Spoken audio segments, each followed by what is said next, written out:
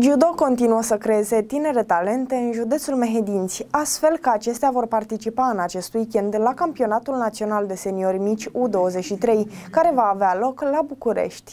Judo este o artă marțială care promovează respectul și disciplina. Copilul care practică judo își va dezvolta în primul rând abilitățile motorii și flexibilitatea prin mișcările specifice sportului. El se va întoarce foarte des obosit pentru că va fi solicitat timp de o oră jumătate. Judo este un sport excelent pentru a canaliza energiile debordante ale copiilor noștri și în drobeta Turnă Severin există copii care practică acest sport și care fac cu adevărat adevărat performanță, iar în acest weekend vor participa la campionatul național de seniori mici U23, care va avea loc la București. Zilele următoare la București se va desfășura campionatul național de seniori mici U23, o competiție la care Clubul Sportiv Municipal va fi reprezentat de trei sportivi.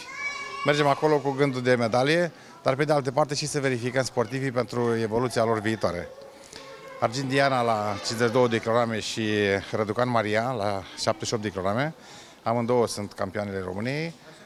Maria chiar acum la cadeți, acum o lună de zile. Și Vlad Topală, multiplu medalier la campionatele naționale, la plus 100 de kilograme.